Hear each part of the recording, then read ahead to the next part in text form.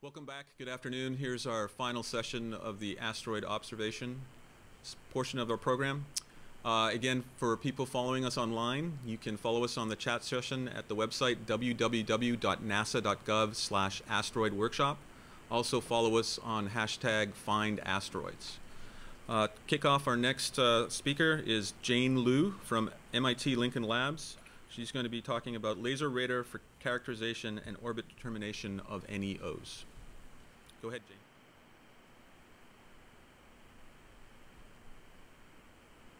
Oh. Go ahead, Jane. Can you hear us? Yes. Can you hear me? Yes, you're coming through loud and clear. Go ahead, please.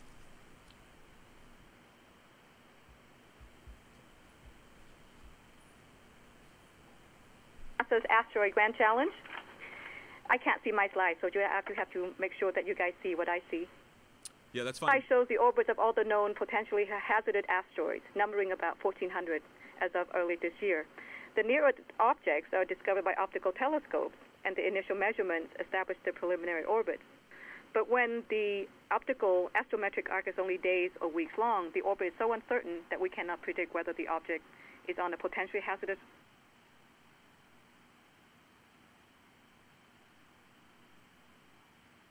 You've lost your audio.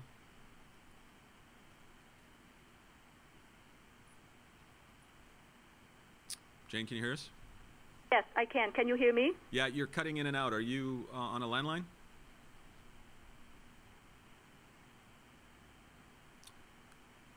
Jane?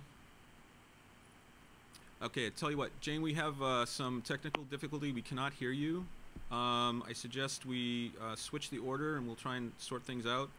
Um, we'll come back to you, Jane, if we can have uh, Bijan uh, present, and we'll try and sort out the audio issue with you, Jane, and we'll come back to you. But right now, we're going to go to uh, Bijan Nemati from uh, the Jet Propulsion Laboratory. Uh, he's going to be speaking to us about measuring the size of NEAs with coherent Doppler lidar.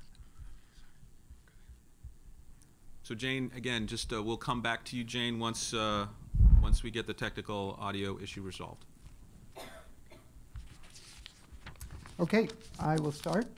The focus of my talk is that class of asteroids that is a, a 10 meter class. These are um, H28 to 30 magnitude um, um, asteroids that are difficult to detect.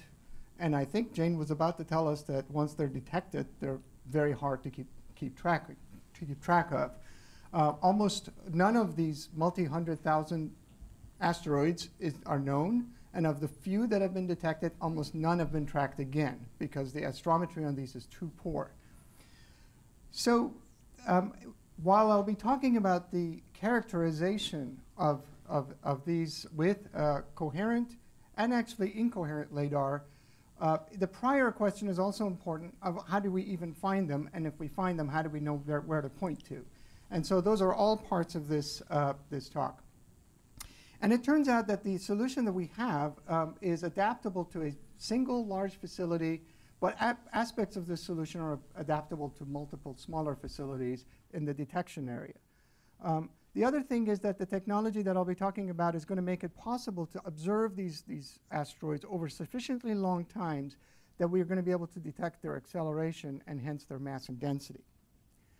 The facility, if it was one facility, it would look something like this. It would be a four meter class telescope that could be used to both transmit and receive uh, uh, basically signal, the, the laser uh, signal.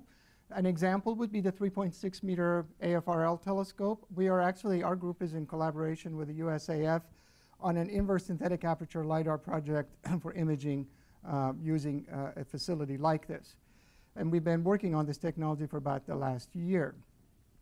The telescope would be augmented with a laser system. The laser system would have a coherent laser uh, that uh, would be uh, one kilowatt class, perhaps working at two microns, and it would be capable of imaging an asteroid of that size. It would uh, have to have a chirp system that can chirp the, uh, the uh, frequency of the laser by as much as tens of gigahertz per second. Uh, the, in addition, in addition, because of the fact that the, the incoherent lasers are more readily available at higher power and relatively modest cost, um, um, one could augment this system uh, with a, you know, a like a five kilowatt And I think maybe June will tell us about a 10 kilowatt laser, um, perhaps working at NIR, uh, typically one micron, for range and size determination. Such a facility would need to have adaptive optics. The adaptive optics are necessary to get a diffraction limited transmitter. And you also need, in the coherent detection part, uh, to, to match a local oscillator, the phase of the local oscillator with the return from the target, as I'll be talking about in a moment.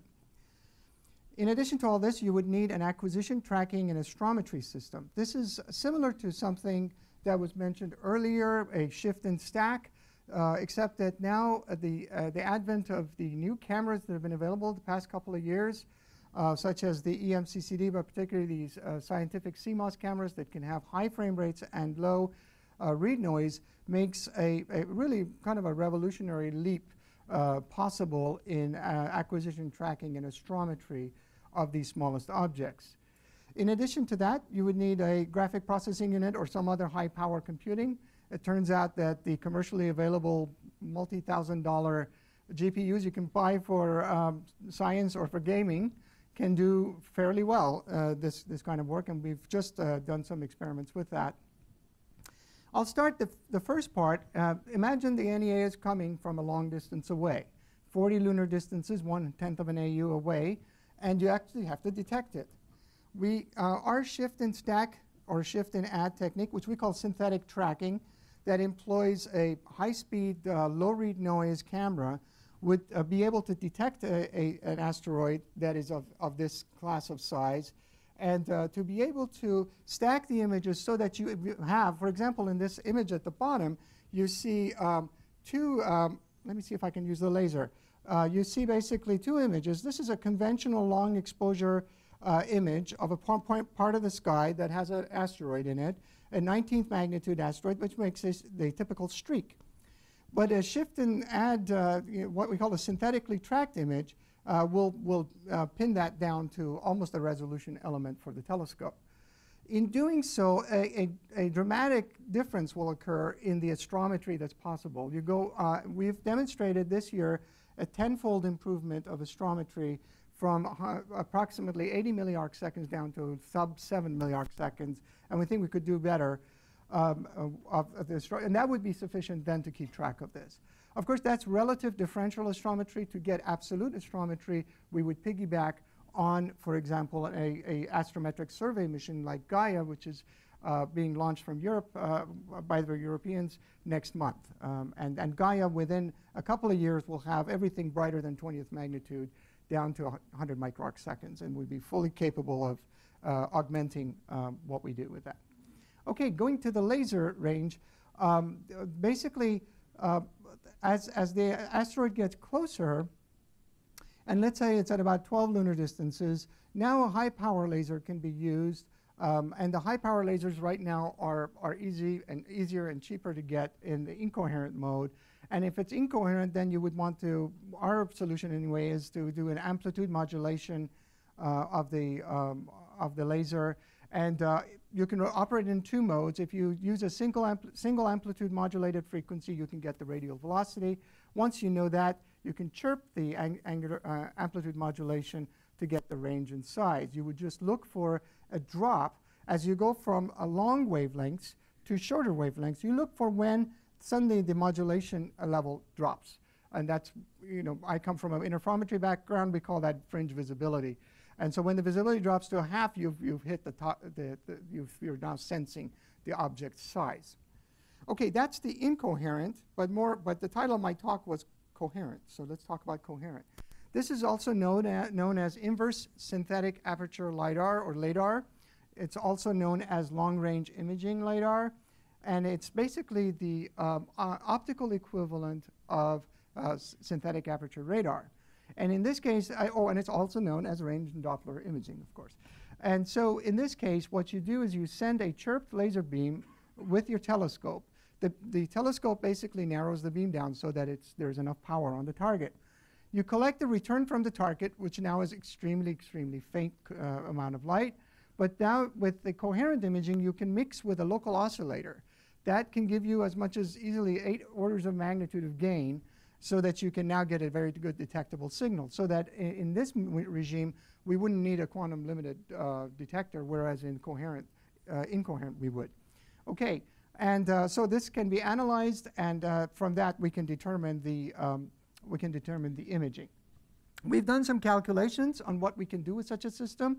Out to 40 lunar distances, we can detect a 10 meter NEO with a telescope like this in less than two minutes.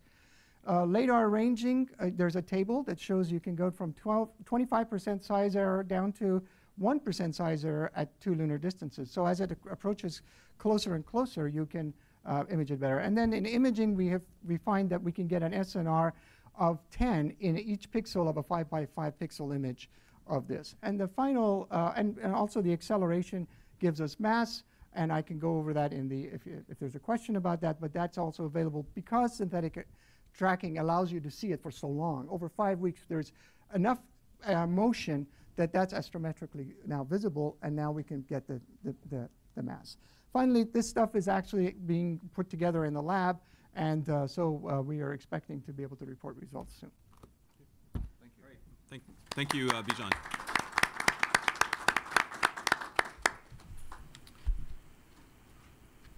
Okay, uh, any uh, questions about this uh, in the room? Okay. No questions? Uh, I did have one question, unless Pauline had one. Well, my question is, is uh, what's the time scale for this? How far in the future is this? Um, we are we have really had first light. Uh, we expect to have range Doppler images within um, within a half a year. We should have full range Doppler in the lab at JPL. And next this year, actually, in this fiscal year, our plan is to go out and do a field demonstration. And then with our partners at uh, AFRL, we're hoping to actually go on their telescope and, and actually range an object in the sky. So. Okay. Good. Thank you. All right, thank you very much. This is Lindley. Uh, you use the word detect. Um, don't you need to have uh, an orbital, uh, uh, a pretty good orbit set to begin with? Well, the idea would be to detect it for the first time. So you're scanning the sky, and the telescope has the sensitivity with synthetic tracking to actually observe it for the very first time. And when you observe it, then you can immediately start a, a regime of astrometry so that you can see it the next night, and on a logarithmic basis of time, you can detect it then within, you know, a, a week later you'll see it, and by the time you've seen it for over the four weeks that you could see such a thing, or three weeks, depending on the case, uh, you have enough astrometry to see it at the next apparition. So you will never lose that again. Okay, so you believe you can get enough of a return to actually do the initial detection? Yeah.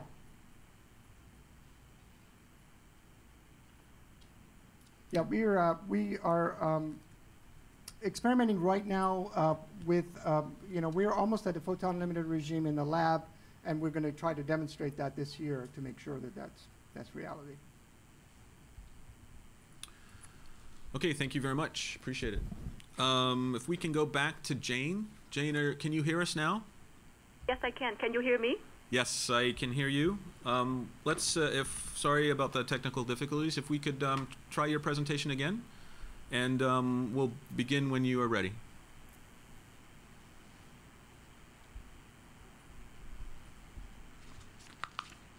Okay, go, go ahead, Jane.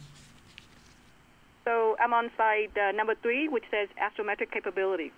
Yeah, we're with you. So um, range measure. Uh, before uh, I was talking about how how large orbit uncertainties mean that uh, we most likely will. Uh,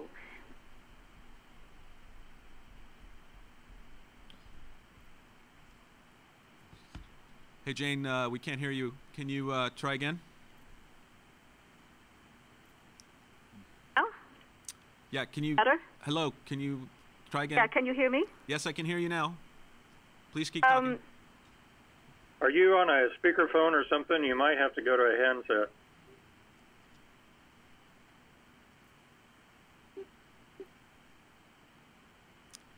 Hey, Jane, we, we, we can't hear you again. Uh, can you try one more time?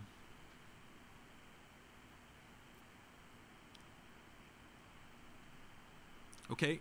Um, I think we're going to have to, Jane, we'll come back to you again. Uh, we're going to have to uh, move on. So, Jane, just stand by again while we try and work out the uh, difficulties. Uh, the next uh, speaker is uh, Stefan Kleen. He's going to talk to us about use of star trackers from existing satellite missions to measure light variation due to the rotation of asteroids. And when Stephen is ready, we'll begin. Hello. Yes, it's Stefan Kleen here. I'm talking about uh, existing high-resolution satellites. They have star trackers on them, and over half their mission, they have nothing to do. So, um, I'm going to go over a few topics. Uh, give a little background on star trackers. A little feedback too. Uh, description of operation. Yeah. Advantages um, and some recommended actions. Here's an example star tracker with a light shade. It has optics inside, CCD, and computation unit. So high resolution Earth observing satellites, like what take images that you see on Google Earth, need accurate attitude position. That's what they use the star trackers for. They precisely measure the position and magnitude of stars eh, for input to the attitude control system. And there's a precedence for reusing star trackers uh, for other missions. NASA's WIRE spacecraft uh, did that, and they successfully uh, measured uh, uh, stars was their mission. Uh, typical star tracker software can be changed on orbit after it's up there. We've done that, worked on systems. Um, this one challenge we have is the magnitude of what they're what they're looking at. Currently, they're designed for a very fast update, um, and they do change what magnitude that they're looking at, and they adjust their hertz rate. So our challenge would be to going down um, to a low um, low sample rate, a long exposure to get at magnitudes that we're looking for. But um, a little bit more on the operation. So uh, the Earth observing satellites are in a sun synchronous uh, orbit. And um, here's an orbit. And so half the time you're in the dark and you don't have anything to do. So it's a good time to look for asteroids. So the satellites and the operations are set up to respond rapidly. So um, they can, you can change the uplink of what they're tasking 10 minutes before it comes into view. Typically, you do it like two hours before. So if the asteroids comes in, you could you could get uh, into it fairly quickly if it's if it's within range for the spacecraft. And it, uh, at this altitude, the spacecraft orbits every hour and a half, so you can get an, another access, and you, so you can get repeated access, or you can use multiple satellites and get uh, continuous access, providing the moon or other things aren't in the way. So the operation would be to aim one of the star trackers at the potential asteroid and take the measurements. Um, in addition to lengthening exposure time, we could look at um, image stacking as was talked about on other presentations. Um, the advantages of space, and people know this, you um, get rid of the variation due to the lower Earth atmosphere. Um, access time is pretty predictable because you, you, don't have to worry about the clouds not being in the, being in the way. And um, if, you if we use sensors that have been up there for a while, the Star Tracker sensors are very stabilized and uh, their characteristics are pretty well known. Um, it, also, this shouldn't impact the spacecraft's operation. Uh, the power budget, um, the Star Trackers are, are typically left on through the whole orbit. Um, so the main mission here would be once you find some asteroids, um, to measure the light curves because you can do repeated uh, um, sense uh, measurements on those. Uh, it would be relatively low cost to uh, some other things because asset's currently in space and you're doing a cost share with the infrastructure because of the main mission as the ground station and personnel to maintain it. Um, and the communication links. So so one thing to do is uh, take inventory of what uh, star trackers are out there, determine the best candidates, come up with a test operation using ground-based test units, upload the software. Um, In addition to this tracking software, there could be some tasking software that would need to be upgraded on the ground system. And then you can test it with some fate objects until something comes into view. And with that, I can take questions. Thank you. Thank you very much.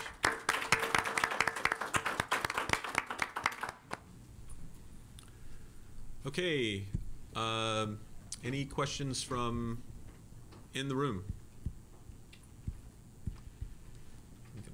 Any, um, Lindley, anything? Oh, we did have one. Sorry, go ahead. When the satellite is on the back side of the Earth in the shadow, are there typically any activities going on that would keep you from using the star tracker? Meaning you can't turn it or move it, or the operator is engaged and so they couldn't process? any Yeah, of for most of the satellites, um, that wouldn't be um, an issue. Sometimes we're doing downlinks, but the- typically the high gain antenna is a gimbaled antenna, and um, we do normal imaging and downlink at the same time, so you could do that. Is aiming the Star Tracker expensive? I mean, does, is there a fuel cost or energy cost? It, there's a, there's a little bit of energy cost of running the reaction wheels, but you're gonna be running the reaction wheels anyway to keep yourself in a, a- so you, there is some, there is some, uh, it's relatively low. We've, um, actually, we do some with the main telescope, night operations, um, for calibration, but that, that we have to start watching the power budget. One quick question on, uh, well, field of view was one question. uh, And part B is how far can you push the magnitudes? How, how Well- faint can we go? Okay, so field of view I can answer. Um, typical range is eight degrees, eight by eight Okay. degrees. Um, and how far is, that's the big challenge here. Right. So, Do you have any kind estimate on limiting magnitude? I mean, that was my question too. yeah, that's, uh, to BD, TBD. TBD. TBD. Okay. Thank you Thank very you. much. Thanks. Okay, um, we will try and go back to Jane. Yep, One more I'm time. here. All right. Third, Okay, sorry about that. Third time lucky. Oh. Okay, so uh, I hope my slides are showing, and um, I'll just start with slide three, um, where I'm addressing the problem of um, large orbit uncertainties. Uh, so range measurements can drastically reduce the uncertainty of an asteroid orbit. So this table on uh, slide three shows the ability of different techniques to measure range and angle position. Radar can measure the range of a target very accurately, with about 10 meter accuracy. But due to its very large beam, radar is not very good at angle measurement. In contrast, traditional astrometry, which is passive optical measurements, is poor at measuring range, but is much better at locating the target's angu- angular position with an accuracy about one arc second. But there is one third technique that combines the best of both radar and passive optical measurement, and that's laser radar. So next slide, laser radar versus radar. So as its name implies, laser radar combines radar and optical wavelengths. It involves sending a beam to the asteroid and detecting the reflected, sig- reflected signal. But whereas radar uses radio wavelengths, laser radar's wavelength lies in the optical or the infrared. Um, the first solar system object beyond Earth to be observed with ra- laser radar was the moon, and it was done back in 1962. But cur- current laser radar technology is capable of going much further than the moon. Uh, we believe we have enough laser power and good enough detectors to probe asteroids all the way from the near Earth region all the way to the Jupiter region. Laser radar's advantage lies in its relatively short wavelength. Now remember that the diffraction limit of any telescope, whether sending or receiving light, is lambda over d, where lambda is a wavelength and d is a telescope diameter. For Arecibo, la- lambda is 12 centimeters. For laser radar, lambda is 1 micron. So that is five orders of magnitude smaller than radar's wavelength. A radar telescope, admittedly, is much larger than an optical telescope, but only about one order of magnitude, and that's not enough to make up for the wavelength ratio. So as a result, lambda over d is much smaller for laser radar, which means the laser beam diffracts much more slowly than the radar beam. And since the laser beam diffracts more slowly, is relatively small when it reaches the asteroid, and thus produces much, a much more intense beam on the target. So depending on the size of the asteroid, the laser beam can be even smaller than the asteroid itself, in which case the entire laser beam is intercepted and reflected by the asteroid with no wasted power, as indicated by the drawing on the, the lower right. So in this situation, the laser radar signal scales as 1 over r squared, where r is the distance to the asteroid. In contrast, if you look on the, the left drawing, the radar signal to noise always gives 1 over r to the fourth. And that is why radar can only observe asteroids that come really close. So next slide. The laser radar system we envision includes two large telescopes in the 10 meter class, one to transmit and one to receive the laser beam. The transmit telescope needs adaptive optics because we want the transmit beam to be as close to diffraction limited as possible in order to maximize the power on, on the asteroid. The requirement of the receive telescope is much less stringent. Its job is simply to be a photon bucket, just count the number of returned photons. And since there's no imaging involved, the receiving telescope can just be one big telescope or a bunch of smaller telescopes. The laser would be a 20 kilowatt ytterbium-based cryogenic laser. Um, material properties like thermal conductivity and refractive index are much better at low temperature. So cryogenic lasers can produce high power efficiently with near ideal uh, beam quality. The spectral line width of such a laser is also very narrow, allowing the use of very narrow band filter to minimize uh, background light. Cryogenic laser technology is well established, and 20 kilowatt is well within the capability of current technology. For the detector, we would use a type of low noise photon counters called superconducting nanowires, which are cryogenically cooled below 4 Kelvin. These detectors have high quantum efficiency and very low dark counts. All the main components of this system, the cryogenic laser, the superconducting nanowires, and adaptive optics, are areas of expertise here at Lincoln Lab, so we're confident that we can build these components. Uh, next slide. Now this slide should say laser radar capability in the Earth region. This plot shows the expected performance of a laser radar system compared to Arecibo and Goldstone. So the blue line, the blue curve is laser radar, the red curve is Arecibo, and the green curve is Goldstone. The y-axis is the geocentric distance in AU, and the x-axis is the diameter of the asteroid in meter. So this plot answers the question, how far out can an asteroid be detected at a signal-to-noise ratio of 3? And the assumptions are, are stated at the top of, uh, of, of, the slide. So the plot shows that um, if you look at one, one kilometer size, that laser radar can observe, can see a one kilometer object as far out as about 0.7 AU, about a factor of 2 further than Arecibo. The, the drawing to the right of the plot illustrates what laser radar can do. So it shows an entire asteroid illuminated by the, the laser beam. So photons coming back will have different arrival times because they're reflected from different parts of the asteroid. The photons hitting the front edge will come back earlier than the photons hitting the, the back edge. So the photon arrival times not only tell us how far away the asteroid is, but also something about the asteroid shape. And as the asteroid rotates, we can probe its other dimensions.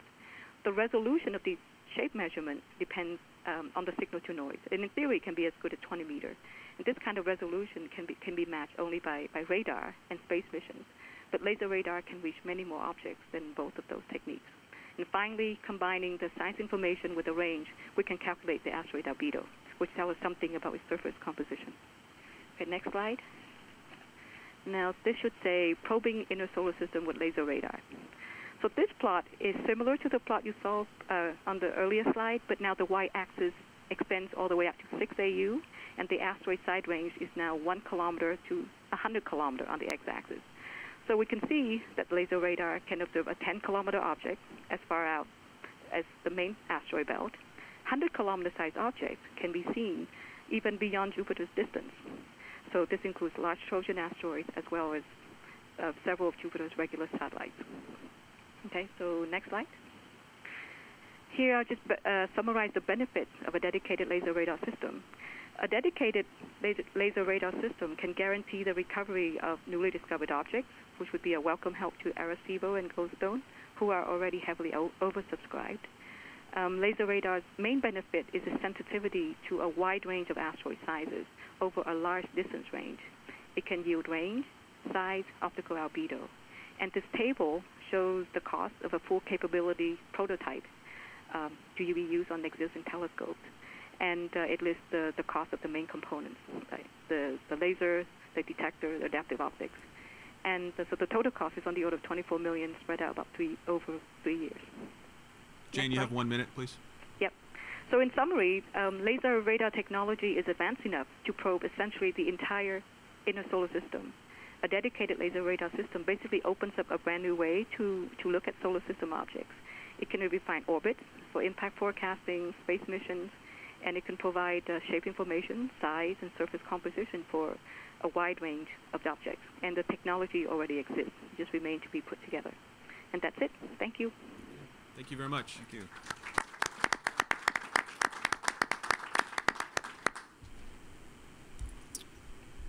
Kenny, any comments and uh, questions in the room? We have one. The, uh, some, the chart that you put this just before the summary talked about with the existing telescope. This again is the is a 10 meter class telescope. Yes, it is. Um, I'm referring to you. Uh, the yeah, I'm referring to existing 10 meter telescope like the Keck. Okay. Any other questions in the room? We have one more. Real stupid one. Um, can we, we can, we can aim a laser beam at an asteroid in the main asteroid belt and actually hit it? I'm So the question is, can we aim a laser beam at yeah, an can, asteroid can in the main belt That's and hit it? amazing. We can do that. I just Uh, it's cool. I, I believe we can because um, and even though um, our, the laser beam is much smaller than the radar beam, but it still it depends on the asteroid size. Um, if the asteroid size is smaller than, than the, the laser beam, th- that's it should be no problem at all. Wow. All right. Thank you. I think. Uh, do we have another one? One in the one in the back. Last question. Hi, Jane. Is it possible to make the laser beam broader? Because you, you were saying you know, it's a six kilometer diameter laser beam at 0.1 AU, and there's very few near Earth asteroids that we have positions as well as six kilometers. So, would there be a way to, say, broaden the beam to a couple hundred kilometers to initially find it and then home in once you found it? Um, sure, it's it's easy to make a beam broad. Broad, you just don't, you know, it's um, it's limited without adaptive optic. It's a seeing that limits the size of the beam. I mean, so yeah, you you'd want to, yeah. if you want a broad beam, just take away adaptive optics. But then you really decrease the um, the intensity on, on the asteroid. So um, It's just typically there's, that- there's so few near Earth asteroids that we have their positions down to six kilometers. In fact, I see. I think there may Um, only be one. Right. So uh, yes, we can do that. So we can spread out the beam to uh, to to locate the object, and then then um, turn on the ad- adaptive optics once you have the, the, the a, a good position for it. Okay. All right. Thank you. I think we have to move on to the next talk. Uh, the next talk is by uh, Chris Lewicki for Planetary Resources, leveraging planetary resources network of Arkyd 100 space telescopes to be launched in 2015. Afternoon, everyone. Uh, happy to be here today working with NASA and the Asteroid Initiative and uh, looking at all the options uh, for exploring the asteroids. We're particularly interested in uh, those activities uh, which we might work together on creating infrastructure and especially identifying and characterizing asteroids which may be of potential future resource use, whether that resources are for future human use in NASA exploration missions or even commercial missions. So to summarize really my comments up front, uh, Planetary Resources is working on ultra low cost, really off the shelf derived capability to go out and explore uh, and characterize and identify the resources on asteroids. And in 2015, we'll begin with a demonstration of a prototype of that capability in low Earth orbit. And that affords some opportunities to use that platform and actually a network of spacecraft uh, to perform, while we're up there, some asteroid characterization uh, observations. Uh, there are things that we'll be doing uh, both from a technology standpoint, which have nothing to do with the observation, uh, and then while we are up there with an optic and a sensor, we can, of course, uh, use that sensor uh, to be part of the network of all the different resources that we have that can increase the global knowledge of NEOs. So this is part of a program, and it's not a single mission, it's an evolution of missions. And the goal is to create a capability uh, that is commercially viable to go out and prospect and understand uh, as many near-Earth objects as we possibly can. Uh, we've uh, just been to two so far. Uh, by the end of the decade, uh, we'll be to four. If uh, we go through with ARM, that will be five. Uh, and that's a good start. Uh, but from a commercial standpoint, we're going to have to do much, much more. Uh, so we're looking at a program where we actually culminate in the swarm exploration of multiple near-Earth uh, asteroids and uh, ways, as we're getting to that, where we can essentially risk reduce and demonstrate that capability in places like low Earth orbit. The focal point of that in the near term uh, with an instrument capability is what we call the Arkyd 100. It's our first instrument in space. This is the size of the spacecraft and the class of spacecraft that we would like to get out to a near-Earth asteroid. Once you take off all the propulsion uh, and everything that you need to inject it into an orbit, you end up, if you're using secondary launches, with only about 15 kilograms of uh, payload. Uh, and that is a, a, fairly tiny package, and uh, as a result of that, we want to put as much glass and as much optic as possible. Uh, so we have a 20 centimeter uh, RC optic with a resolving capability of about an arc second, and through stabilization and other techniques, uh, we can get down to uh, sensitivities of about VMAG 19. Um, and really just a broad range using an industrial CCD of doing imaging and photometric measurements and using filters, we can get spectral characteristics to help bin uh, things and either uh, bring things into consideration or rule things out of consider consideration. And on the bottom there, you can see a full-size configuration prototype uh, with me for reference uh, on about how object these are, how large these objects are. So we're putting a couple of these into orbit starting in 2015. Um, there are, of course, a number of advantages for having things in space here, up above weather, up above the atmosphere, uh, you effectively have a larger optic because of those advantages. Uh, also, you have the advantages not just because we have a small constellation of a few of these, uh, but the dwell time that you can have on target can be longer. Your ability to respond to a wider range of spots in the sky uh, is, is possible. Um, and really what I see uh, with the Arkyd 100 as playing a niche role of uh, being able to do very rapid follow-up with things that are found by much larger scopes, being able to spend the time to get a photometric study of them, to get light curves, and then uh, where possible, uh, get uh, even better than that and uh, start to characterize these things by their resource potential.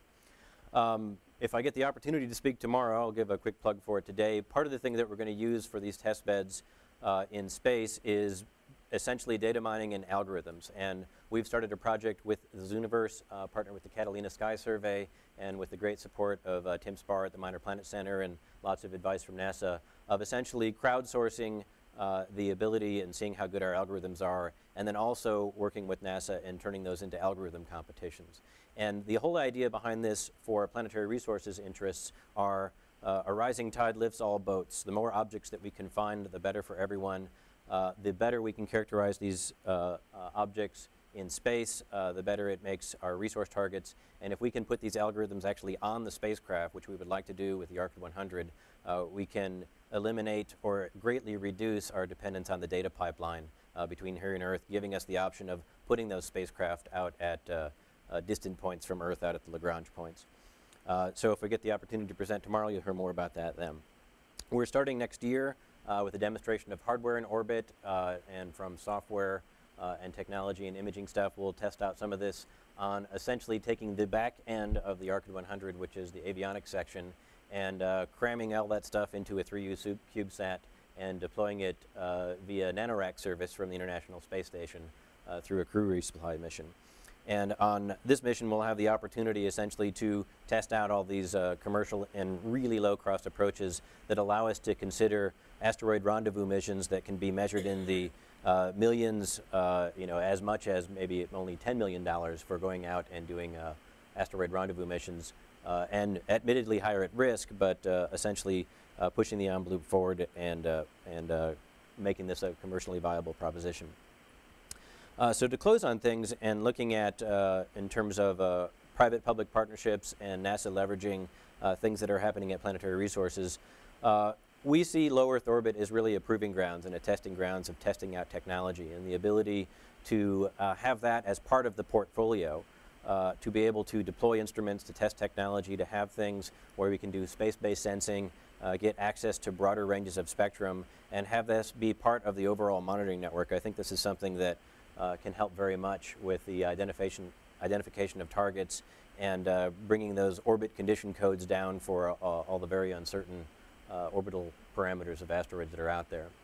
Uh, so uh, for data that we produce for ourselves, data that we produce for the public through programs that we've started through our Arkyd Kickstarter campaign, uh, and data that we may produce for the government or scientific customers. There's ops- op- opportunities essentially to create purpose-built observations where we can go out and get uh, very specific um, types of observations that we can enable in a very uh, rapid turnaround. These are types of things where secondary launches are available uh, several times a year, and the ability to put up a new instrument, to pose a new observation, uh, and get that into space is something that uh, can be measured in, uh, you know, certainly uh, uh, less than two years to be able to turn these things around.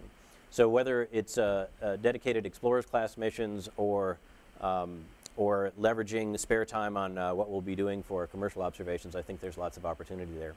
The last thing I'd like to say is there is a lot of unused capacity that's going into space in the form of ballast or unused rideshare opportunities. And Planetary Resources is very interested in all opportunities that are going to space, especially those that are going Earth escape. And to be able to take one of these scopes and put it on a trajectory that is leaving the Earth, wherever that might be, uh, is something that we would certainly be interested in working with NASA or whomever and taking advantage of those opportunities and not letting any launch opportunity go unused. Thank you very much.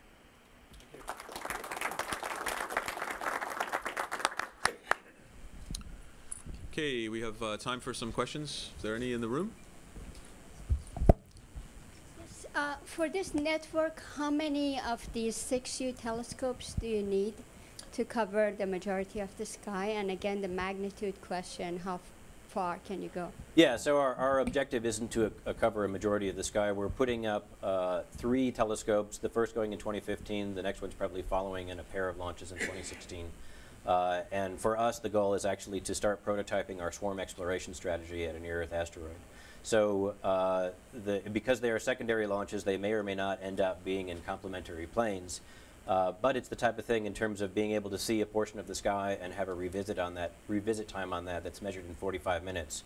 So if you have a monsoon, or if you have bad weather, or if you're in the middle of a lunation, uh, these are types of things where while the rest of the planet is mooned out, so to speak, uh, we have two or three days where uh, we can essentially be uh, one of the things that will still be able to operate uh, while while that's taking place. And as I said in the presentation, we're bound to about 19th magnitude with typical integrations on what you do with a, um, a cadence of observation anywhere between 10 and 20 second integration times.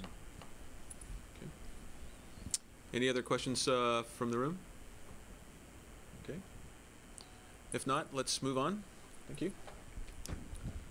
Uh, the next uh, speaker comes to us virtually. This is uh, David Rabanis from Space Apps Chile. This is a CubeSat swarm with IR sensors and onboard data processing. So David, um, whenever you're ready, go ahead. Uh, yes, uh, thank you very much. Um, we are very grateful that we have uh, that our proposal has been selected uh, for this presentation at the NASA Asteroid Observation Session. Uh, we started out in earlier this year in April in the Space Apps Challenge that was called by NASA. We participated in Chile and our team, Carlos, Rodolfo, Eric, Anton, and myself, David, uh, we have participated in this, and we tackled asteroid hunting. And we found, uh, do I switch myself to page two? Do you see that? Um, okay, so we, we tackled the um, challenge, which was to develop a mission concept for exploration of Apophis, that's one of the um, asteroids that is supposed to be having a close encounter in 2029. And uh, given given the da- damage that um, asteroids can produce, we thought it would be much more sensible to think of the many more that we need to be actually tracked and, and uh, observed. So we, um, I switched to page three. Tagging and tracking only of one asteroid in this challenge uh, was uh, really not so much of a meaningful thing if there are more than 100,000 unknown objects that potentially can as well pose a risk. So we thought it, we focus more on how to predict the forces that act on an asteroid. That means we have to track the environment around them. And this environment around them means all the little masses that pull and tug on them. And that need, means we have to have a very complete picture of the asteroid belt. So basically, this is what we uh, then tried to do in this challenge. And we wanted to uh, pro- propose a mission concept to map entirely down to a certain to be decided size the, the asteroid belt. Uh, page four. So we, we think uh, we should do this in three in three phases. It, in, in general, it's a public learning project. Ground-based technology testing, of course, needs to be done first. Um, that's one of the first uh, phases. The second is massivation of ground-based hardware and operations. That means actually to put it on many more shoulders, crowdsourcing uh, technology, and also um, bringing many more people into into the into the game. This is also being um, presented in some other talks talks uh, I think tomorrow um, in the citizen science part. Uh, and then, of course, uh, as, a, as a, our outcome from our asteroid space apps challenge uh, mission concept was a concept for space-based systems that would be a swarm of CubeSats potentially at uh, at the L2 Lagrange 2 point of Mars to map to be closer to the asteroid belt uh, to have better signal. Uh, next page. So the first phase would be ground-based technology testing. Here I have uh, shown a, near-infrared to thermal infrared transmission plot, and there's four prime frequency or wavelength ranges that I would like to ob observe with uh, with a um, telescope, and that allows us to discern the surface temperature of a asteroid or a planet from the, the background stars. So that would be actually uh, basically probing the black body or gray body spectrum of the object, which is uh, more um, significant than the optical reflection of these objects. So basically, we need accessibility uh, of this technology to amateurs. That means infrared sensors in that wavelength range, moderately cooled thermal infrared sensors, narrowband filters, and robotic telescopes. I switch to page six. The phase two would be the massivation of this hardware. Uh, and that needs to be done by crowd-funded uh, campaigns to buy the bulk, purchase infrared sensors, narrowband filters, cooling technology, telescope motion control, which is actually already pretty uh, much available, but not not accessible enough uh, for, for, my taste. Open source control software exists already, and so on.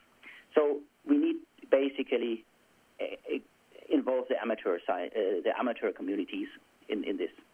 And of course, outreach campaigns at schools and colleges and so on are part of it. And especially in Chile, the Atacama um, provides a very good uh, uh, place to do it from the ground because it's very dry. So these uh, transmissions um, uh, in the infrared are, uh, are, are, are very good. So we have very little losses in the atmosphere. And then, of course, we need to develop the image stacking and feature detection routines, which in optical infra- uh, astronomy already exist. Maybe they just have to be ported. And uh, as a second step, in, in the, as, as, one of the last steps in this uh, uh, phase, there would be technology refinement for nanosats. That means mini- mini- miniaturization.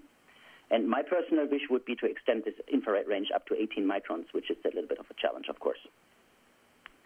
Uh, phase three would then be to go for space-based observations. That means launch and operate a prototype in low Earth orbit, and later on designing the swarm that goes to the Lagrange orbit. And uh, we would like to hitch a ride to Mars as one of the ballast loads that has been announced by NASA as well. Uh, my predecessor uh, in this talk also mentioned it, which is a very nice opportunity to, to get uh, far away from Earth and we think of a swarm of six to ten copies, maybe 12 or so. Uh, that minimizes the risk. And it would have to, I mean, uh, uh we would need to have miniaturized ion thrusters to propulse us to L2, power, of course, from solar panels and so on. So, so many of these technologies are already in the, in the process of being um, developed, and we personally would like to just focus on the uh, on the new payload, which is this infrared various narrowband detection schemes. And we would like to engage radio amateur com- community for data downlinks, uh, which also is a necessity to get the data. Um, the flight, configuration would be uh, uh, like in this picture, page 8. Uh, basically, a telescope, uh, which is uh, a round telescope, deployable, obviously, from from this uh, CubeSat, pointing to towards the main asteroid belt, and the other side pointing to the sun. that would be the normal flight configuration. The scanning would be a rotating spiral on the ecliptic plane so every image frame would be reobserved various times that allows us to stack the, the images and uh, decrease the noise. And we just uh, let time work for us and reobserve patterns on sky to, to reduce the noise. Basically, that's the, the idea. And with this whole challenge, we would um, actually ha have some synergies with other space apps challenges that have been uh, uh, formulated by NASA that is the, the database for near-Earth objects, CubeSat for asteroid exploration, ArduSat, HydraRide to Mars, and Why We Explore. These are the, the main themes that uh, have connections with this, what we, what we want to do. Thank you very much. Thank you.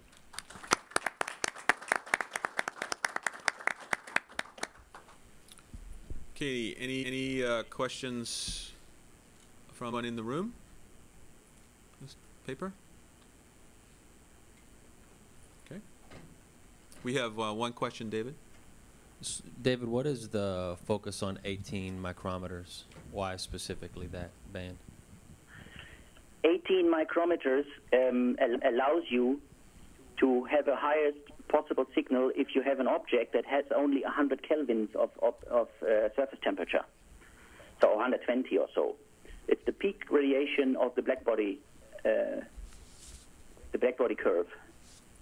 So, so it allows you to probe the whole temperature range better. Do you know the answer? It, it, I, I, I don't think it is a necessity, but I think it's a, it's a good um, frequency or wavelength that, that allows you to, to really uh, probe cold objects in our, in our uh, uh, solar system. Do we have time? Uh, one more quick question: Why, um, why go? Why are we observing the asteroid belt from Mars? Would it be possible to do this from the Earth L2 point? It would be possible from the Earth as well, but we think that since we have only a CubeSat and only maybe a 20 centimeter size telescope, we would like to go to uh, to the site beyond Mars because we are halfway to the asteroid belt. That means we halve the distance, so we have four times more of a signal so we can probe more uh, complete the, the, smaller objects. Or as a down, as, as, a compromise, we don't need the very high top-notch um, sensitivities of, of, detectors that uh, are available today. Um, so, so, you know, it's it's a compromise, of course. Okay. But I think getting closer to the to the belt uh, uh, always gives you the, the square of the distance uh, in, in gain in, in, in signal that relaxes your requirements on the sensitivity of the detector, which is actually the, the most benefit I can see. Good, thank you. All right, thank you very much. Move on to the uh, next and uh, last presentation of the session. Uh, session. Uh, this is Rick Tumlinson from Deep Space Industries. He's going to be talking to us about scouting missions that are required to characterize potential asteroid targets.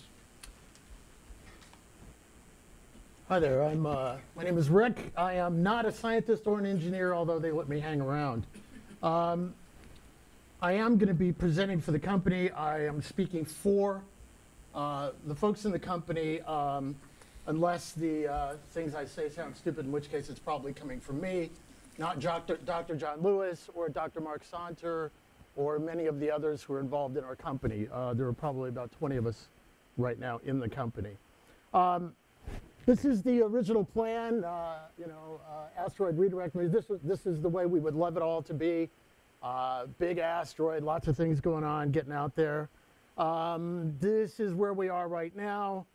Uh, I don't think this one's going to happen either. Um, uh, when it gets wrapped up, I call it the Jiffy Pop mission. Um, I think it's, uh, it's important. I think these are great ideas. I just don't necessarily think that's the way we're going to go sending out a very large and expensive mission to grab a small rock. Um, now, we went down the same path in our company, which was a small mission to grab a small rock, um, and we began to investigate what was involved with that, and we began to change our plans. And we are finding a lot more um, near Earth objects out there, and it's getting very, very interesting. Um, unfortunately, we don't know a lot about them. We can do a lot, as you've heard early in the session, um, as far as ground-based observation, et cetera, to learn what they are. But basically, um, you know, when you get out to certain, to the smaller sizes, you really don't know a lot about what's going on with them. We don't know whether they're solid, whether they're gravel piles, et cetera, and all of this begins to make a lot of difference, especially when you get out there. I don't know how many of you are familiar with the movie Spinal Tap, but in that, uh, in that movie, they had planned on a gigantic model of Stonehenge coming to their stage. They were, it was supposed to be 18 feet high. Of course, they uh, didn't do a lot of pre-planning, so what actually showed up on the stage was 18 inches high. It can be rather embarrassing if we send our astronauts out to something that we haven't really checked out in detail before we get there. So we need to find out what they are. Are they solid? Are they not solid? Now, we have a lot of opportunities to do so. We actually see some very interesting periods where we can get into some scouting missions and get out there in advance and start finding out what they are made of before we start mounting very expensive missions. These are various periods where we could actually send out small scouts to do different sorts of scouting missions. There are different kinds of scouting missions, which are basically visual, involving flybys, there's rendezvous where you actually loiter and, uh, in a sense, orbit around the, the actual object, um, and then you can actually get to the sample return. We have uh, different classes of vehicles that we're looking at in our, in our company that are being designed and missions are being laid out for. There are the Fireflies, which are flyby missions. They're fast, they're low cost, they're fast to target, they're repeatable. We have the Firefly, the Gnats, which is something that you know keeps flying around your head. Basically, it's a rendezvous mission which would loiter long-term around an object. Um, there's the motherships, which we'll talk about in a moment, and then there's sample return, which are dragonflies. Firefly Scouts, small, 6 to 12U. Uh, we build them in threes. That's how we reduce uh, our uh, risk. Uh, fly them on different vehicles. We believe we could fly, build and fly three of these for under $20 million and probably have them in, uh, in the air, so to speak, uh, within two years of, of funding. Dragonflies, uh, 10 to 50 kilogram sample return. Everything we do in our company, we do in threes. That is our clever risk reduction method. Uh, and you don't fly the second and third ones until the first one um, has made it through your, your, your most uh, risk, high risk period of flight. Um, we believe we could do 10 kilogram Dragonfly uh, asteroid missions uh, for under $50 million. Uh, then there's the mothership carrier, which is being unveiled right now here for the first time. And this is one that gets into sort of the grand challenge. The idea here is to carry a large number of small 3, 6, 12U CubeSats or a large swarm of, of small ChipSats into space. Now, we have to do this in a new way. I'm using the term the new NEO initiative uh, whatever comes out of what it is that's being worked on now is going to be something that's better than what we had. And that's what I'm excited about. We want to be able to deliver space science, industrial science, and planetary defense knowledge. We believe that we have to create the infrastructure and leave the infrastructure behind so that we can get out there and start doing things with the things that we discover. Remember, there's the threat and the promise we believe that the models that work and are working today in LEO are the COTS model and then the ILDD model, which is being used with the Google Lunar X Prize. The COTS model is working today. There was a commercial launch of a SpaceX vehicle which carried a commercial vehicle into space, which was derived from a partnership with NASA and the US government to develop that vehicle. At the same time, there's another vehicle that docked with or burst with the space station and delivered goods to the government employees in the government space facility at a very much reduced cost that will begin to develop an Earth to LEO infrastructure that can be used for all for the benefit of all. We need to have a new relationship. Actually, somebody reminded me this is actually the old relationship, the NACA relationship, which predates NASA, relationship to the aerospace industry beyond LEO. The agency, we would like to see specify the needs, provide the tech development support, purchase data and information, and the private sector can develop the technology, operate the projects, and deliver that data information to the scientists who need it and want to get more of it. We believe that as a government, as, as governments of the world, as the people of the world, there are missions that are at that level. Mars, going to the moon, Phobos, Deimos, interesting asteroids on the way to Mars. That's where we want to see NASA go. That's where we want to see our government go. That's where we want to see the big, grand things happen. On the way there, we want to be doing our plans, which is filling up what we call free space with lots of neat things going on, including the, expanding the uh, community of human life. Now, if we don't do it right, this is where we're going to end up. Um, we know we are dealing with a dysfunctional body, um, and it's probably more risky to the human race than some of the things coming at us from space. Um, luckily, they can't pull it together, as we're going to hear about later on, probably today. But this is what's out there. This is what we're going to have to deal with if we don't do what we're doing at this meeting the right way. But I believe if we as a community can unite and do these things the right way and operate in a way where we raise all boats and everybody gets what they need and works in a way that is cooperative and aimed at the goals that we all share, and we do all share the same goals, we can achieve amazing and magnificent things. Thank you. All right, thank you.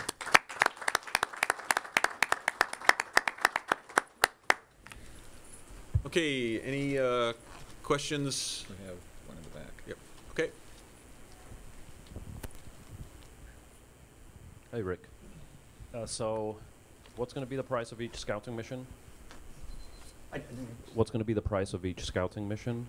Of each scouting mission, well, we believe that we can send the flybys, which are the fireflies, the small ones for around 20 million. Uh, and we believe we can do the sample return for about 50 million. Okay. And apart from being a lot cooler to fly to an asteroid for a flyby, uh, what can't be done from the ground, observation-wise? You can't touch them. You can't touch them. You can't physically interact with them. I mean, it's important that we be able to look at these, uh, these objects, but the actual, for example, the porosity of the object, the actual makeup, the physical makeup. How, is this a gravel pile? Is it a tightly held, cohesive gravel pile? Is it a loose gravel pile? What occurs one meter under the surface? What kind of, uh, what is the compositional difference between the surface and at depths within the asteroid? These are things that you have to get out there and poke around and, and uh, get involved with the asteroid to find out. And if you want to know more, I would suggest you talk to Dr. Morrison up here, who's the man. Thanks. Other than John Lewis, who's the other man. Okay. Any other questions? Follow up on that question. You say a Firefly mission is 20. That's 20 million for your first three. What's the recurring cost if you want to send another three? Um, I can't get into a lot of it. There is a very interesting profit built into that, and that um, is a includes the the drop-in cost as we begin to get from the first down to the second and third. They actually drop down, and then we hit production lines. We can talk afterwards. We're a company, just like my friend Chris. We're a company. We we can talk afterwards. Okay, any other questions? Any questions online? Okay, thank you very much. Thank you.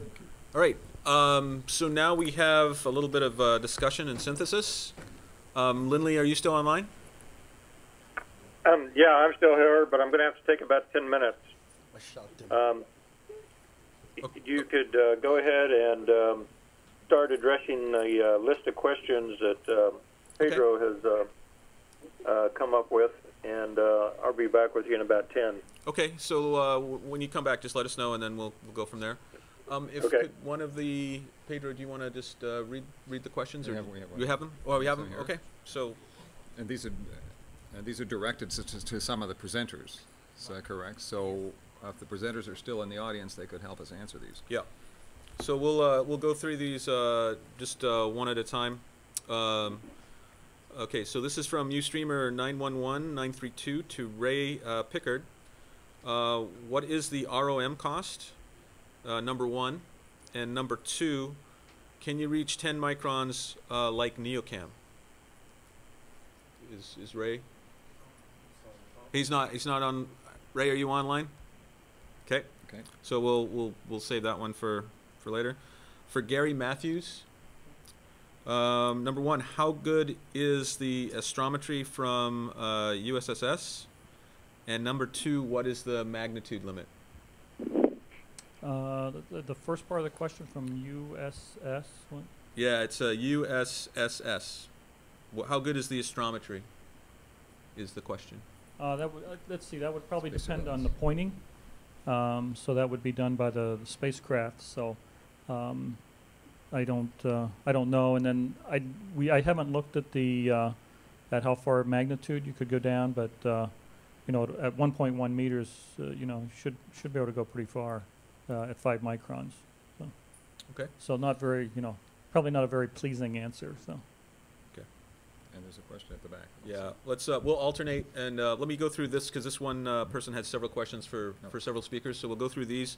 Hmm. We'll alternate, we'll go through the room and come back and forth. Um, this is for, uh, same questioner, uh, for Bijan, uh, this time. Uh, Bijan, uh, does the LiDAR need pre-discovered objects or can it survey? That's number one. And how many per year come within, uh, 0.4, uh, lunar distances? Or 40 lunar distances, I think there's a typo there. Okay. 04 Is this LD. on? Okay. Uh, I can certainly um, answer the first one. The LiDAR is not a great way to detect them for the first time. What you want to do is know where to point, and that question got raised before uh, as well. And that's why the um, the synthetic tracking is, is, is you know what is uh, what we recommend to do, which is to you know use a passive detection system, and that will very efficiently find them, um, and it will also do enough astrometry um, so that you can point properly. Like if you have a four meter telescope with a two micron laser, that's a 100 milliarc second beam, you want to point to about a fifth of that lambda over d, so to about um, tw- 20 milliarc seconds. So if you had like 10 milliarc second class pointing, uh, I mean astrometry, you're in good shape, and synthetic tracking can, can do that. Uh, so LiDAR is great for ranging and sizing and imaging, uh, laser radar, but um, uh, but the but for detection, you really want to know where you're pointing first. Okay. Uh, and then this is uh, for uh, Stefan Kleen.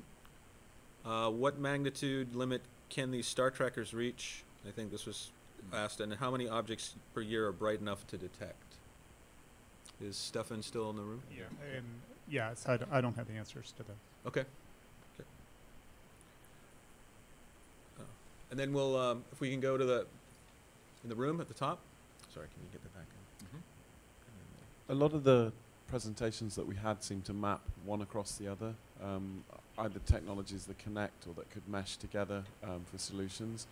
Have they been mapped in any way? Has there been some sort of representation of where they, they plot together or not yet? Sorry, can you repeat that? In terms of mapping, in terms of the organization of the, of the, or have they actually been mapped? Is that what you're saying? Yeah, I think maybe the terminology is misleading, mapping or not. I, I guess the question is these technologies seem to kind of connect together. They might actually kind of come together in, in terms of a, of a bigger solution set. Has that worked of kind of analyzing how they might fit together or visualizing how they might t- fit together being done? Not yet. I mean, that's one of the, the things that, that um, we're working on. Um, if you notice the way we tried to structure the, the talks, they were trying to group in, in, in topic areas. Absolutely. Um, so, um, so it was a good observation on your part. Um, that's part of the process that we'll, we'll do right now. Right. Um, is, you know, after hearing the talks, hearing some of the presentations, go back and, and have a, a talk, and then we'll, we'll take that next step. Let's go to, uh, Paul, why don't you read the uh, next one, and I will pick out next speakers for, in the room.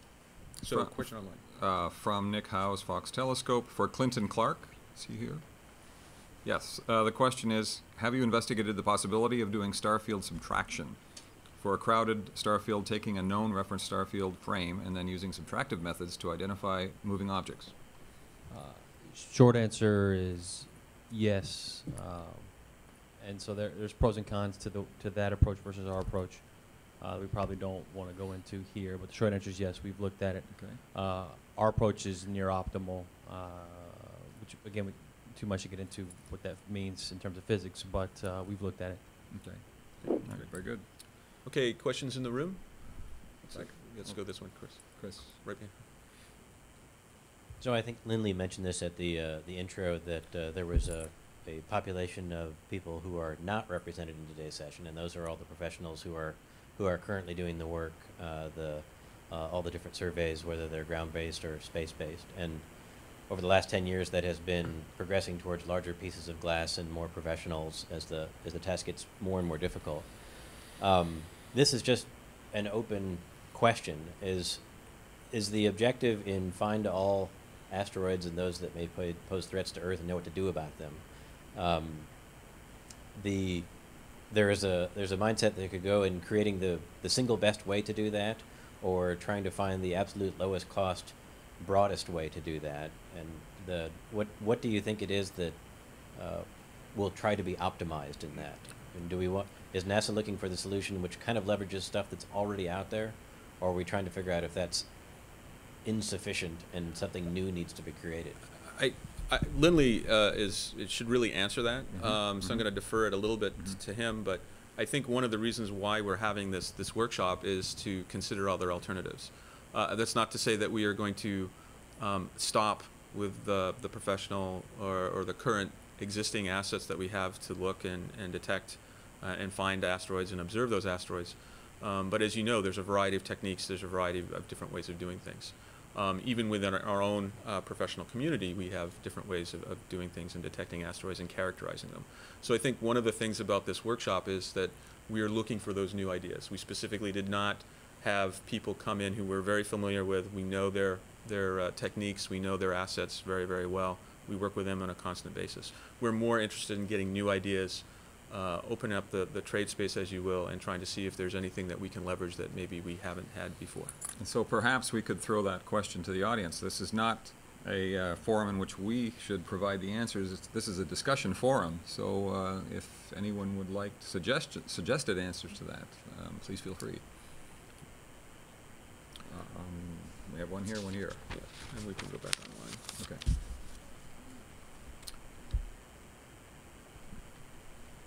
Uh, just to jump into that, I, I would say in the uh, particularly in the partnership participatory engagement, the the effort really is to um, to throw this out and get uh, as many ideas that we haven't thought about, and engage in a conversation that says, here's here's state of the art right now. Can we improve on that?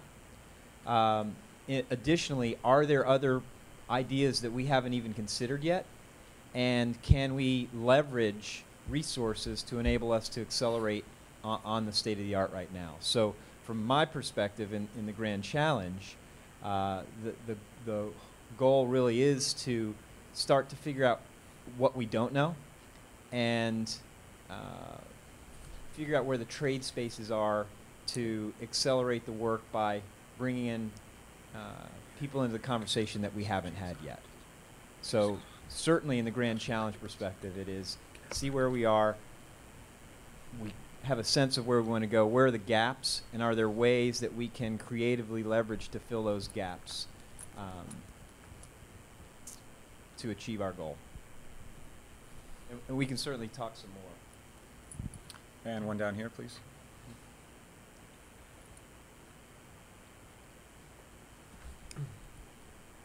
Hi, this is Dave Morrison speaking. Uh, I think this has been a great session, and the whole idea of using the RFI to get new ideas is great. But I would also say that I often found myself not really understanding what issue individual speakers were directing. Uh, there is discovery, and there the bar is very high. We have found more than 10,000 near-Earth asteroids. We're finding them at the rate of several a day. There are a lot of professional astronomers involved.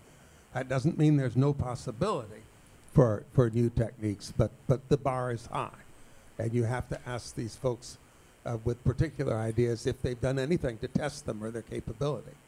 Second is characterization of orbits, astrometry, tracking, where you already have the object found, you already know at least approximately where it is, and I think there were a lot of interesting ideas presented for that, like, like Jane Wu's LIDAR. Um, and then finally, there is the physical characterization. And while there were a number of ideas presented, I often find myself wondering what question is proposed to be an- answered. Uh, just going there and taking a picture is not enough. Several people talked about infrared, and in some cases, I was not clear whether they were talking about reflected solar infrared, which allows you to characterize the, uh, the makeup of the, of the mineralogy of the surface, or thermal infrared, which allows you to determine size. And so I just wonder how we do the next step. The ideas, many of them were very stimulating, but they left many open questions as to what really is intended and what prop specifically, what problem each speaker was going to solve. Go, go, Chris. Yes. Go, go ahead. So just to put a bookend on my uh, original comment, I, I think as NASA may expand and consider a variety of options, uh, to date it's been mostly self-organizing in terms of the professionals who have brought capability to the table and um, identifying what they think is best to do and how they think they can best contribute with the resources they have. I think as NASA casts a wider net, in addition to prioritizing things that you know they see as important by providing funding for it, I think there also is a responsibility within the agency to actually uh, create a capability to more directly tell people the specific thing that they believe the new identified capability should be doing. It should be you know looking in this area of the sky. It should be optimizing this measurement uh, because we're interested in a particular result. Uh, that leads to you know NASA's interests and uh, you know the broader interests of the entire enterprise, and that's something that I think uh, as it uh, you know from uh, photographic plates and markers to CCD astronomy to uh, some pretty high tech stuff, high tech stuff going on today. there's still a long way to go to be complete and to satisfy the challenge, and I think it's going to require a bigger office at NASA to to manage it all. Thanks for your comments. Okay. So I thought we may have a question. We we only got one Um, mic runner, so are you back, Lindley? I'm, yeah, I'm back with you now. Good. Would you like to re-ask your question, Chris? all right, all right, we're done. Carry on. So um, I was going to ask a question to Clinton, but first I can answer that question about how many asteroids would come within range of laser radar. That's about 20 or 25 a month. Thank within 40 lunar distances, right? And um, you were saying that the software is fully automatic, but surely there has to be somebody sitting there so that when something is detected, somebody decides whether it's interesting to follow up or not. So just a moment. So I guess my question is, what's the level of interaction required? Sure. So, in general, when we operate it today, we are looking for man-made spacecraft. Uh, we operate it one of two ways. One is where there is an operator uh, at the controls in our office in Manhattan Beach, and the software has audio and visual cues for any anomalies, whether it's a uncued detection or unusual photometry or whatever it might be. Uh, it'll beep. It'll uh, it'll turn an image red. It'll do something to cue you to look. Uh, we can also set it up to run autonomously if we wanted to just cue another sensor. So let's say we got uh, an anomalous photometric reading and we don't know why. We could have it autonomously cue another sensor in our network to look at it and get some angle diversity and verify is something really going on or did we, you know, did cloud fly through if, if there wasn't an operator there to verify something like that.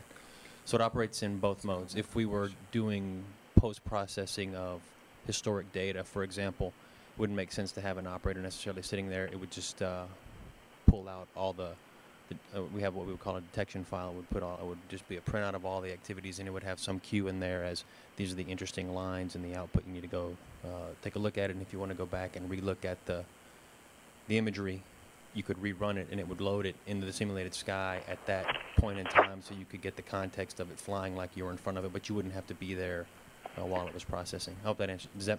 Yeah. And and you guys keep all the raw data that you take? From our telescopes, yes, we have all the raw.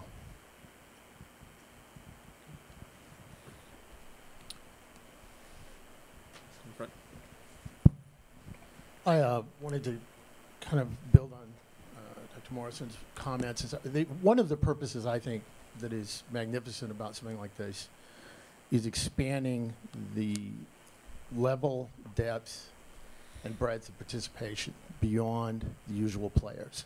What happens is, uh, uh, you know, unlike uh, well, unlike Mars, which is not potentially going to kill us at some moment or produce grand new wealth, uh, uh, you know, which is where Lewicki and I live.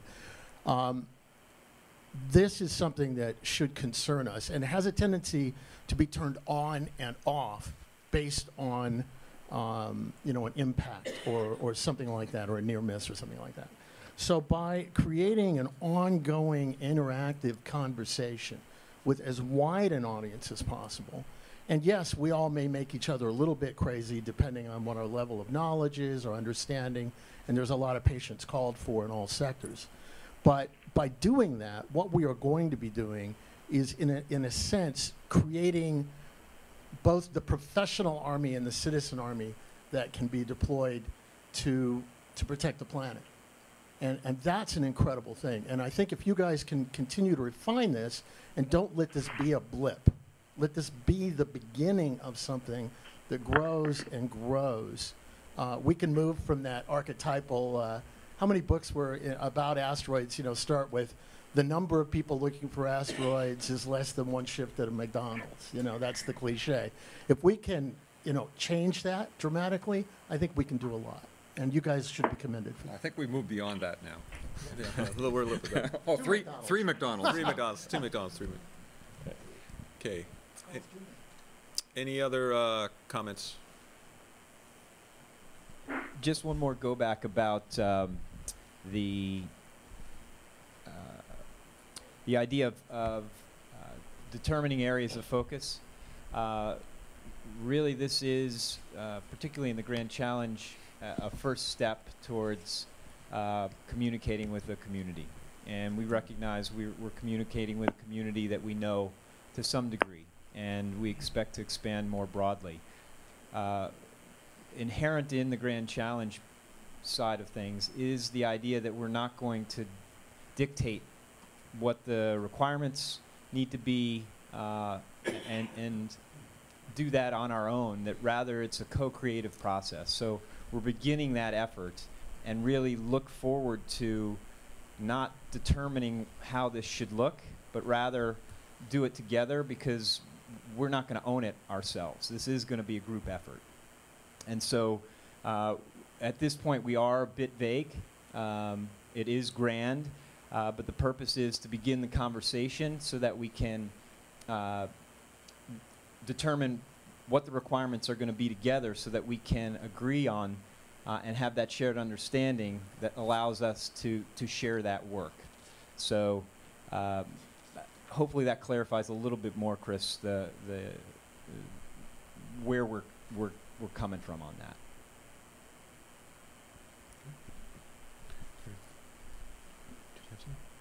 Uh, I just wanted to say, tomorrow afternoon, we'll be discussing this in, a, in another session, so we can uh, conti- continue this debate then.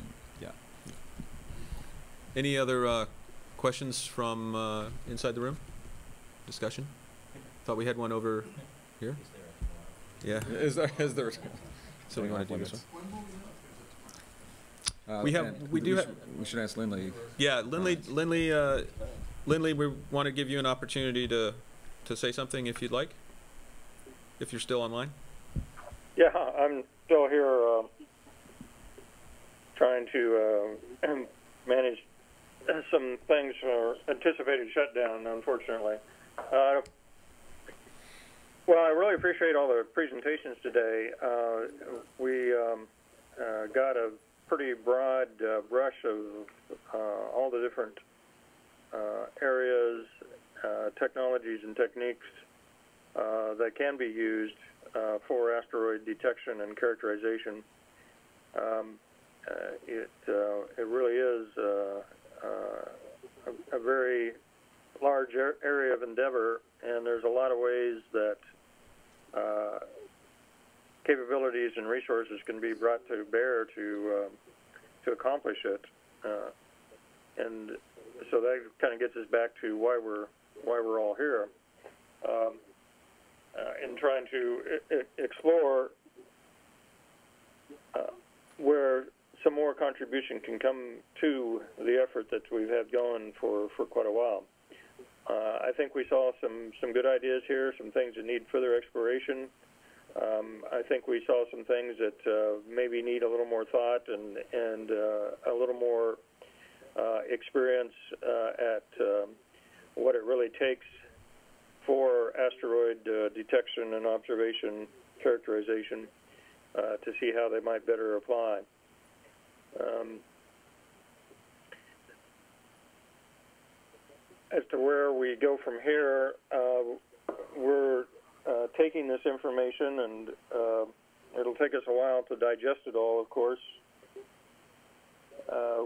We'll be putting some thoughts together for the plenary on Wednesday morning uh, as to uh, where we uh, what we saw and where we think uh, that takes us, and what some some of the ideas and concepts might be that uh, uh, we will look want to look further into.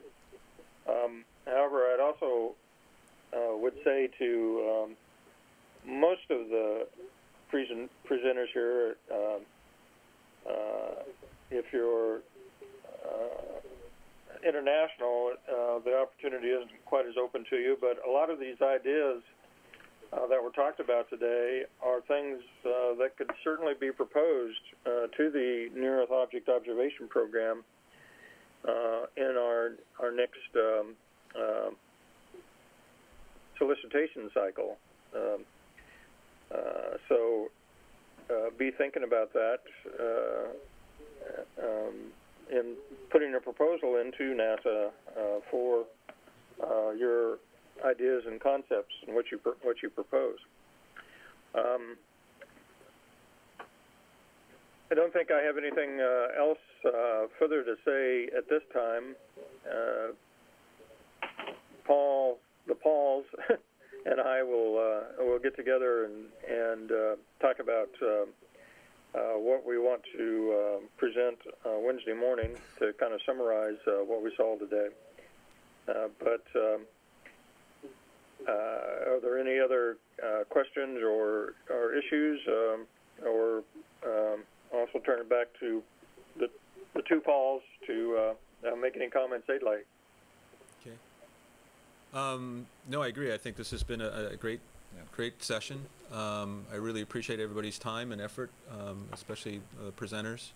I think we've got some really good, interesting ideas, and, and we need to go and, and look at those. And as Lindley said, um, we'll gather and, and get back and, and present some of our preliminary uh, findings on, on Wednesday morning. Um, we did. We do have some more questions. We do have another one on uh, online, Lindley, that we'll we'll read out, and then we have a few more comments in the room.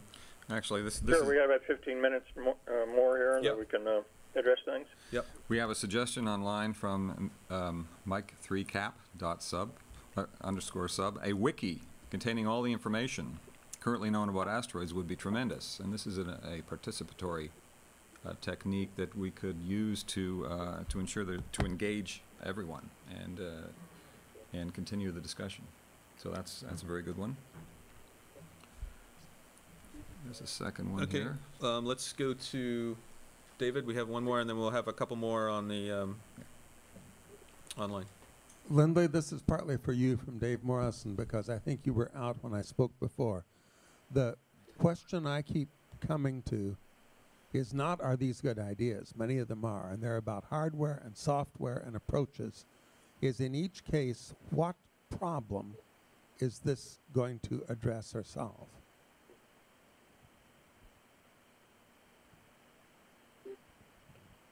Well, if you'd address that to me, uh, I, I think that for each of these uh, techniques uh, uh, that were talked about today, um, uh, we can see uh, where it could be applied to um, either detection, orbit determination, or uh, object, uh, you know, physical characterization uh, parameters of of, uh, of an object. Um, we can um, uh, stand improvement in, in all those areas. I think. Uh, I don't think we have a a, a lock on, on any particular area. Um, I, I agree that the presenters may have been a little uh, vague and uncertain about exactly uh, where they uh, um, may have fit in, but I think part of that is just uh, them being new to the new to the arena and not uh, uh, having the the background that uh, uh, some of the rest of us do.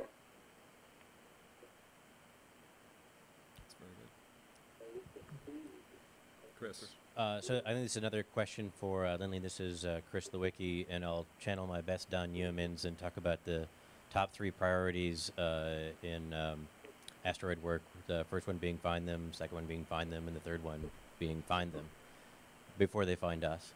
Uh, and uh, essentially, the effort that we have put in to detection has been precisely consistent with that. And three, four years ago, when Flexible Path rolled out and we, uh, as a nation, wanted to pursue asteroids to send humans to them, uh, it didn't take too long to retreat from that because we didn't have enough targets. And it wasn't quite clear that there was actually a response to try and improve that uh, in a meaningful way. And I see it again here in just the last few months with uh, considering the, the ARM option where uh, the idea, in part, of bringing something back near to the Earth was for uh, the potential opportunity to learn from a resource potential. But here again, we have not put the investment into knowing the types of these things so much as we have. We, of course, can't do that before we find them. So my my question, with all of that context, is how is it that we can sufficiently raise the priority of physical characteri- characterization uh, such that when the opportunity comes up, we have a list of things to pick from. Uh, it's something that there are the resources out there to do it. Uh, they certainly exist all over the planet. They just haven't really been given this sufficient priority and this purpose to go off and create this data set. And that's something at Planetary Resources I'm, I'm interested in how, to, how to incentivize that uh, from outside the system uh, so that we, we have you know, more than just a few things that are spacecraft targets that have characterization, like JU3 and uh, RQ36.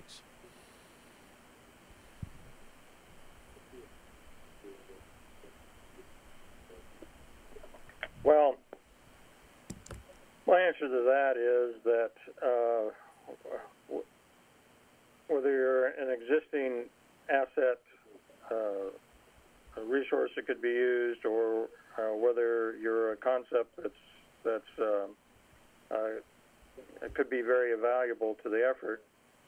It it all takes funding. Um, uh, nobody can can operate uh, on on thin air. Um, uh, the the the better, the greater the capability, you know, the more uh, backing that it that it that it takes, and um, uh, I sort of agree with you that we're not going to uh, accomplish this by, you know, uh, you know, throwing twenty million dollars at it. Uh, it is something that, that does take a more um, focused and, and, concerted effort uh, to accomplish. Uh, I, I think with the asteroid initiative, what the agency is trying to do is is enlist um, uh, other uh, uh, players, other part, partners around the world in the effort, so that the agency doesn't have to fund it all. Um, whether or not that will be uh, a successful way of accomplishing that, we're we have to see. Okay, but um, yeah, to find uh, to find a better part of the population, and particularly those uh, that are, you know, an order of magnitude smaller than than what we were attempting before, is, um, um, you know, it takes resources. I'd like to make a comment that you know one can uh, even in the maybe time of this workshop put some uh, numbers around this.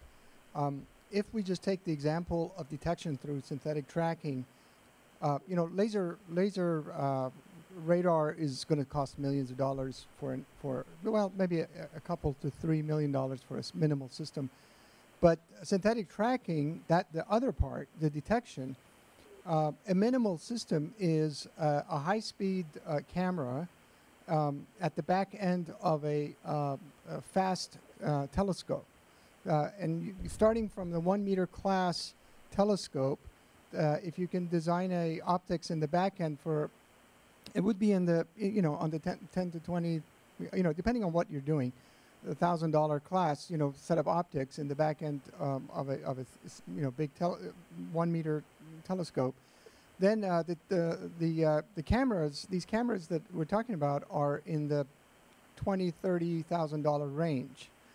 Um, in the end, you really want a lot of étendue, you know, A omega, um, aperture times uh, solid angle, and so it's not within outside the reach of the smaller facilities um, uh, to to to do that detection um, and be sensitive to uh, you know a large number of asteroids by using the technology. Um, I, I should just put a plug in that that uh, at AstroPH we just uh, submitted a paper to Astrophysical Journal, but it's it's right now for free on arXiv. Uh, that describes how basically you know our approach to doing this, and this is uh, something that can scale to, to much smaller telescopes on the scale of less than $100,000. It's still not peanuts, but it's, it's much more accessible than millions of dollars. We've had another Ustream question that is basically along these lines, the, um, and I'll quote, uh, "The question that hasn't been addressed is scale. How many NEOs per year need to have their orbits, rotation periods, and compositions determined? Discoveries are now 1,000 per year and soon to be 2,000 per year, soon, but characterization is only about 100 per year. So um, there's a mismatch going on here. Um, and I would comment that, uh, first of all, the, the uh, we, we can't fight these uh, um, those statistics. Even so, radar observations are going up, IR observations are going up. So these are the, two or two of the uh, key um, uh, uh, sources of, of characterization. Um, IR in particular, if we can if we can boost that with, with space-based IR, I think that would be a great way to continue the characterization and, and make a, a dent in the large numbers here. And we have a question at the back. Comment. Actually, I was going to make a comment about IR. I'm part of a proposal that is probably sitting on Lindley's desk to use the two meter at Kitt Peak, proposing for 50% time, and that should give us um, spectra of I think it's 1500 to 2000 a year. And if anybody wants to chip in for the other 50%, then we can double the rate. And it's very cheap. It'd be like 300 million a year. I'm not going to sell anything else. Thank you. So there's And you and when you're saying spectra, what what type of spectra are you talking about? W- Wavelength range, just Sorry. Um, I can't remember the numbers right now. I can tell you later. okay. That's fine. We'll But- talk later. That's fine. Yeah. Yeah. Okay. Well, uh, let me ad- address the question a little bit. Um, although, uh, you know, we're finding uh, a thousand, uh, a couple of thousand of these objects a year. Um, you, you don't have to characterize everything that uh, is found. Um, we want to characterize those that are of interest.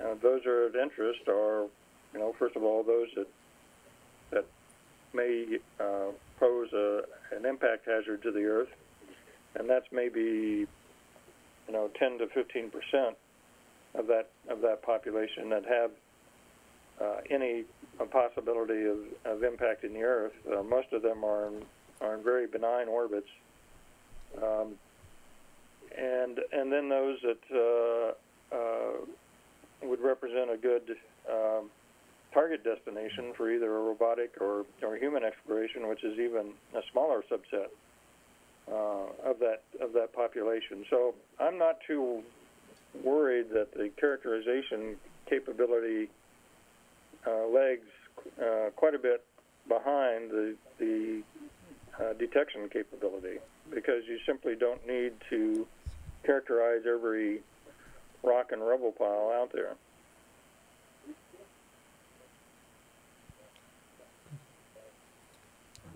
Okay, we have another question in, in the room. Um, we've talked about uh, space-based IR. What about aircraft-based IR? I know that the SOFIA aircraft was uh, based out of Christchurch here about two months ago, flying missions over toward Antarctica. So I don't know if there's consideration for using that aircraft quite a bit as far as you know for characterizations and detections and such.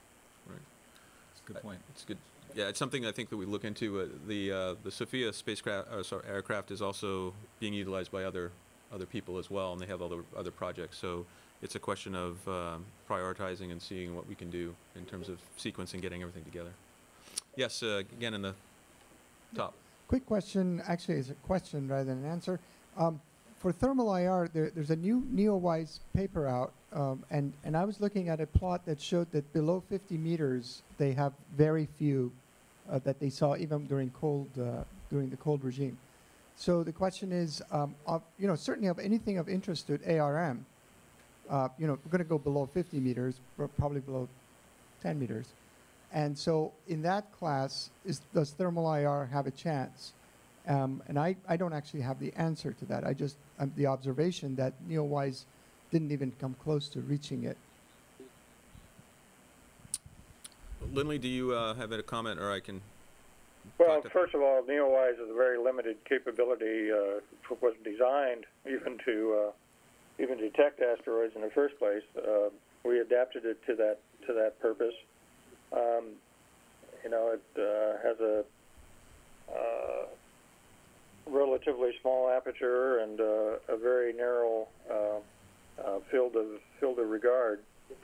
Um, uh, so that's why it didn't detect all that many asteroids, and certainly not not small ones.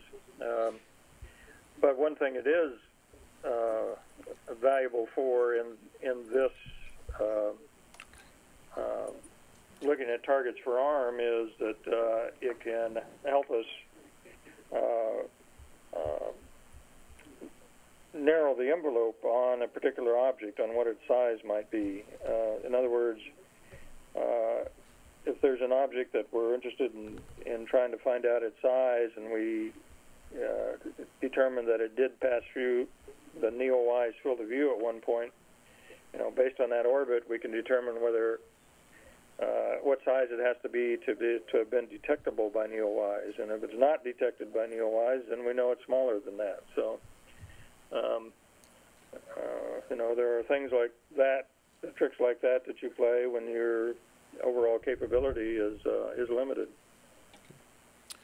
All right, I think uh, with that, we will call it a wrap. Thank you very, very much for all the input, and uh, we will hopefully see you uh, tomorrow morning. Thank you.